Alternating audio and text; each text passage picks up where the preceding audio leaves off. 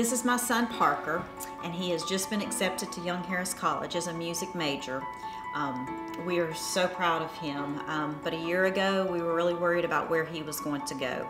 Um, his passion is music, and just without a lot of scholarships, we just didn't have the money to send him to a school for music education.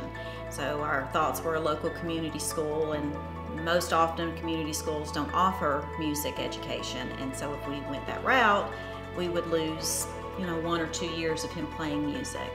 Um, so with scholarshipauditions.com, they have allowed us to open more doors for him and has opened Young Harris College, and that is where he is going. So it's plain and simple.